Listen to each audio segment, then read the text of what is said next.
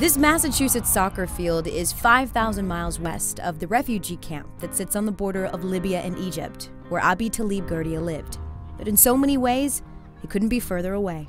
It was difficult, like for me, like war, like in Libya, like it was, it's like, like every single day, like bomb, like like I couldn't sleep at all. From a brutal dictatorship to a bloody rebellion, Libya's been a nation overcome with violence and death for decades.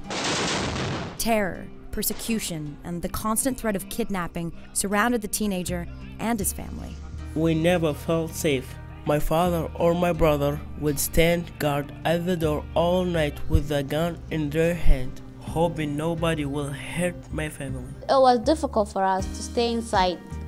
And if you don't have a gun, you're done, definitely in that country. Abitalib's escape was the game. He developed ball handling skills in the tight quarters that street soccer provided.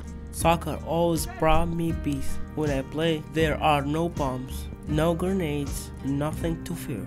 In March of 2013, thanks to a UNICEF relief effort, the Ghirdia family came to America, landing in Lynn, Massachusetts. As a new sophomore at Lynn Classical High School, Abitalib worked hard to learn the language and the culture, but there was one place where he was at home right away.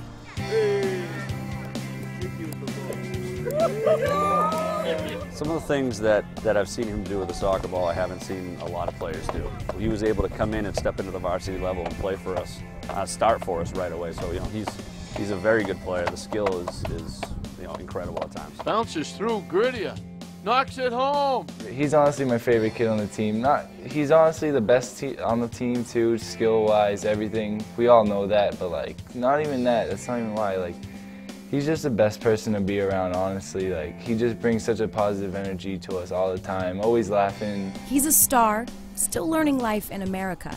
For one of the best high school players north of Boston, playing soccer is still what makes him feel most at home. My family is safe now. We live in America now. The night is quiet, no bombs. We feel so lucky to be safe. They tip it ahead. Ghirdia walking in. Score! Ghirdia with the goal.